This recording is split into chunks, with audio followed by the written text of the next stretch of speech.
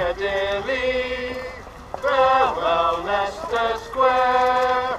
It's a long, long way to Tipperary, but my heart's right there.